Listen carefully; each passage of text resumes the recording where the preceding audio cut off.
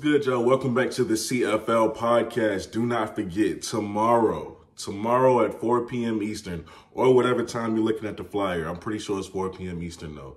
Uh, David Turley, Donald Turley, I'm sorry, Donald Turley will be on the show. He is coming by. He's the special guest. Yes, Donald Turley, the former Marine, who is now a Jackson State player, going into his sophomore season, right? He's going to be on the show. Remember when I first introduced him, y'all was like, dang, you know, why is he, you know, that old and a freshman? And then you realize, oh, he was in the service. So meet me there. Well, don't meet me there. Beat me there. All right, be on time.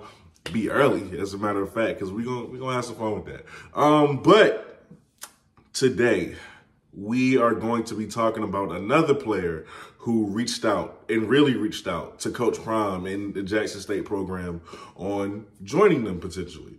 Um, so if you were, would remember my video from yesterday with the five-star receiver, uh, who they could be getting or maybe not, you know, when he commented on the Coach Prime's video, uh, there was another player who did so as well. Shout out to my boy Aaron Sanders. I'm pretty sure he's the one who tagged me in it.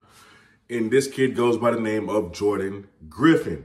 Now, what he said under the video uh, was I think it was something along the lines of, because I'm paraphrasing, uh, I'm ready, Coach Prime, let's do it. Like I'm ready and available. You know, like let, you know, let's do it. Like that was basically the gist of his uh his post. So I'm I didn't even know he was in the transfer portal to be honest with you, but it looks like he is in Jackson State is where he wants to call home next. That was blatant, you know, the way he said it. It's clear he wants to be at Jackson State. We'll see if they uh, if they pick him up. But just to give you a little, a little bit of his background, right? Coming out of high school, he's from New Orleans, Louisiana. Okay, 5'10", 192 pounds, and he is a running back, of course. He went to school in high school at McDonogh, McDonogh 35.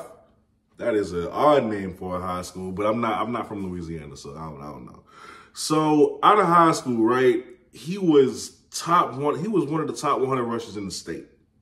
He earned all Metro 4A and all District 4A honors. He leaves high school. He goes to Texas Wesleyan University. That is the first school that he attended. Okay. He spent one season at Texas Wesleyan University. All right. When he appeared in eight games, carried the ball 35 times for 73 yards and broke out a season long 23 yard rush. Keep in mind, if you're not, uh, if you, if I haven't said his class already, he is a redshirt sophomore. In the 2020 season, he transfers to UL Lafayette, the Raging Cajuns. At Lafayette, he only made one appearance versus ULM. In that appearance, he carried the ball seven times for 30 yards, including a long rush of 12 yards. After that season is over with, he takes his talents to Southeastern Louisiana, which is the the school he's leaving from. That's that's the latest school that he's been to. There's no record of him. Um, statistically in a game. But I do have film. I have practice film, which y'all are most likely seeing right now. Um, so you be the judge. You be the judge. It seems like he's back in the transfer portal, and you know he's been he's been hopping a little bit. He's looking for a place to call home. Um, a lot of people would probably think that you know Jackson State doesn't really need another running back, you know, because they do have eight already. Um, very talented at as well, but we don't know Coach O. We don't know what Coach Prime. We don't know what they're thinking. If they see value in Jordan Griffin, they are going to get Jordan Griffin more than likely.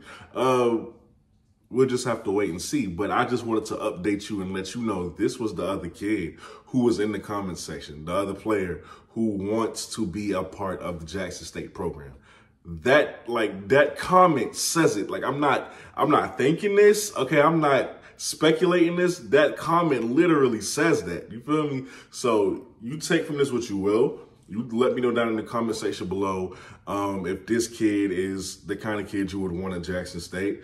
Um, don't be a couch coach. Please do not be a couch coach. Oh, you know, he can add depth, but I don't, he's not to give us much. Like, I don't, don't be that kind of person.